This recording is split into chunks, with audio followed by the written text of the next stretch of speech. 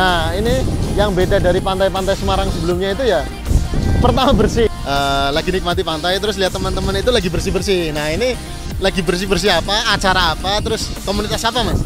Jadi komplit di sini fasilitas sudah oke. Jadi mau sholat bisa, makan juga bisa kalau lapar, toiletnya juga sudah ada. Assalamualaikum warahmatullahi wabarakatuh. Marhaban ya Ramadan. Ini berarti puasa ke berapa Wil? Ketiga. Ini hitungnya waktu puasa ketiga. Kita mau ngapain? Kita mau ngabu- ngabuburit, ngabuburit. Kita mau cus jalan-jalan.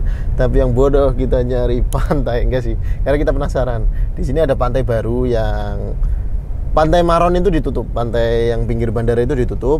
Sekarang ada Pantai Tirang namanya, katanya sih bagus, katanya pasir putih ya. Jadi kita mau lihat, mau survei apakah bisa buat mesum di bulan Ramadan, enggak lah. Kita mau nyari tempat yang asik buat nongkrong. Nah ini mungkin kayaknya seminggu sekali nanti kalau lihat lah nanti kalau bisa syuting banyak mungkin nggak seminggu sekali kita bikin konten Ramadan tempat ngabuburit yang asik tapi kalau enggak ya berarti ya masih ada cuma dua kali atau tiga kali lagi kita konten ngabuburit setelahnya konten biasa karena sudah mau lebaran. Nggak ada yang ini berarti kalau ini tayang sudah H plus seminggu. Eh enggak ada yang seminggu ya? Seminggu lebih lah. 10 hari dari lebaran. Eh lebaran dari puasa. Oke langsung cus saja kita ke pantainya. Kita belum tahu juga bentuk pantainya kayak apa. Gas.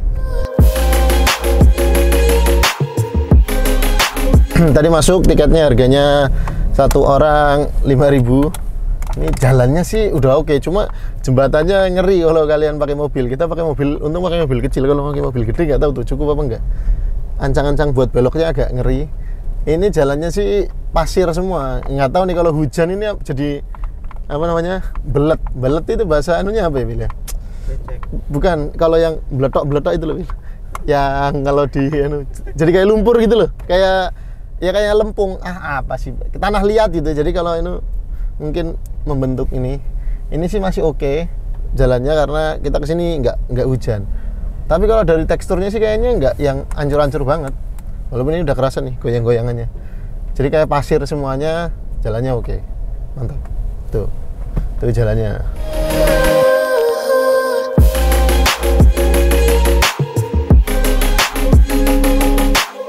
Kita ini sudah sampai di sini dan ini kayaknya masih banyak orang sana Bil, sud sana Bil It- itu orang kayaknya lagi nanam apa namanya?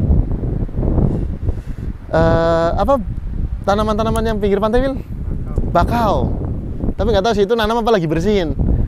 Sini sini back back back. Nah pokoknya di sini gersang hitungannya karena nggak banyak pohon rindang.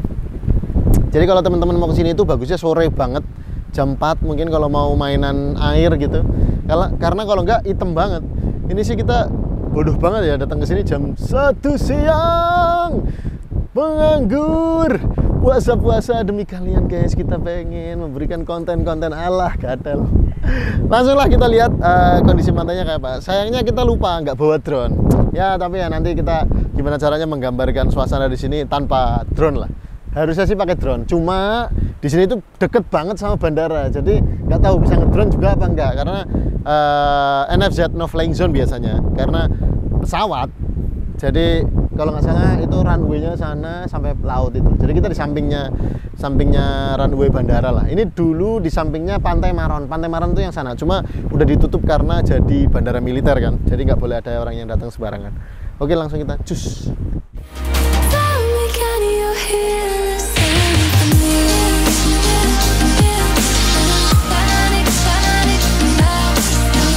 Oke guys, ini kita lagi di pinggir pantainya. Jadi teman-teman kalau mau ke sini eh, bisa nyewa tempat-tempat kayak gini nih buat istirahat, buat naruh barang. Itu 10.000 sampai puas tulisannya sih.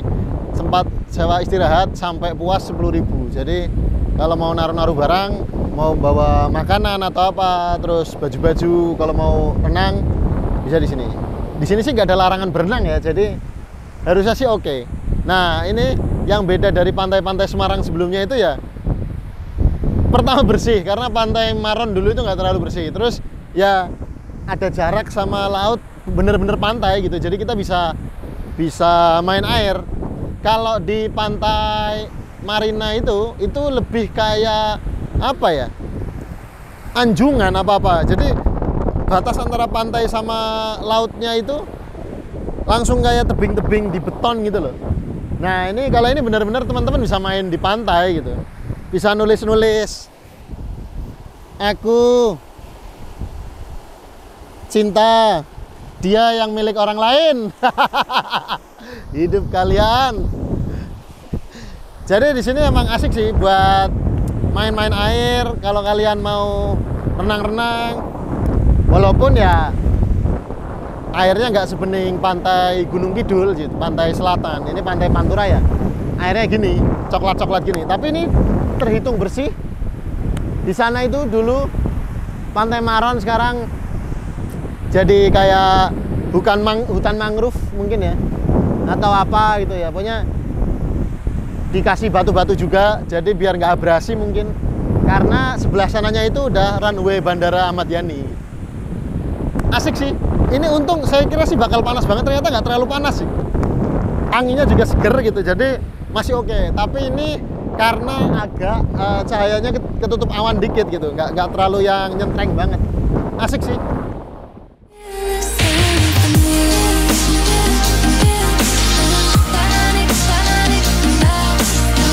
ini ada komunitas oh, orang-orang yang lagi bersih-bersih. Coba kita tanya-tanya ya. Yuk.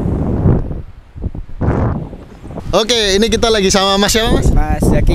Zaki. Oke, tadi saya lagi jalan-jalan di sini terus eh, lagi nikmati pantai terus lihat teman-teman itu lagi bersih-bersih. Nah, ini lagi bersih-bersih apa? Acara apa? Terus komunitas apa, Mas? Sebenarnya kita itu nggak cuma bersih-bersih doang, kita juga menanam mangrove. Oh. Kita itu dari berbagai banyak mapala dan sispala. Oh. Jadi banyak mahasiswa sama anak-anak SMK yang ikut bersih-bersih. Oh, Masnya masih kuliah apa SMK? Saya SMK. Oh SMK, iya iya. Wah keren banget ini. Jadi memang di sini itu ada beberapa kotoran-kotoran ini mungkin nggak tahu dari laut atau dari pengunjung gitu. Jadi teman-teman yang datang ke sini harusnya emang jaga kebersihan di sini udah disediakan beberapa itu tong sampah tong sampah. Jangan sampai buang sampah sembarangan. Nah ini banyak banget saya mendapati eh, tempat wisata itu yang kotor sebenarnya mas. Ini sebenarnya putung-putung rokok ini pada buang sembarangan ini. Rokok sama sedotan mas. Oh Kebanyakan. sedotan ya? Iya. Iya. Nah ini kalau teman-teman datang ke tempat wisata jaga kebersihan. Lah ini mas pesannya buat teman-teman yang mau datang ke wisata nih, terutama nih di Pantai Tirang ini. Ini kan hitungannya baru nih Pantai Tirang. Nah pesannya buat apa? Buat penonton-penonton jateng kita nih apa mas? Kita itu nggak harus ke tempat wisata itu senang-senang doang.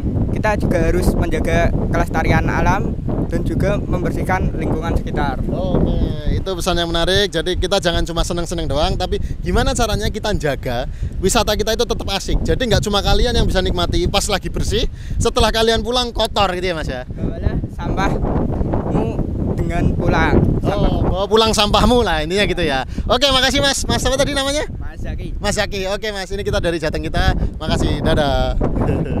Makasih, Mas. Oke, itu tadi eh, apa namanya dari teman-teman Mapala sama Sispala gitu, siswa pencinta alam. Eh, gerakannya bagus banget ini, eh, bersih-bersih karena mungkin mereka lagi libur hari Sabtu ini.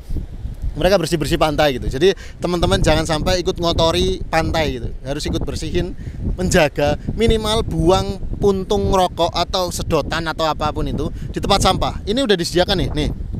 Nih. Tuh. Udah banyak tong sampah tong sampah. Jadi jangan sampai kalian buang sampah sembarangan. Nih. Pembuang-pembuang sampah.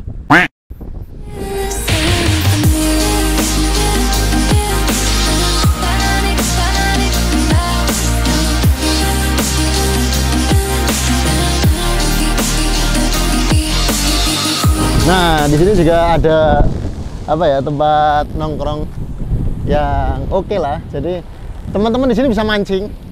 Banyak pemancing-pemancing di sini yang mancing di apa sih hitungannya gitu anjungan anjungan apa apa sih? Pokoknya ada yang menjorok ke laut itu. Bisa mancing banyak dan bisa kalau enggak ya nyantai-nyantai di sini aja. Ini sih cukup panas tapi karena anginnya lumayan seger jadi nggak terlalu panas gitu. Walaupun di kulit mungkin nanti hitam ya. Tapi oke banget ini eh, suasana pantainya bisa dinikmati. Kalian mau jalan-jalan di pinggir-pinggir pantai ini ya oke gitu. Yuk lanjut jalan-jalan lagi. Oh,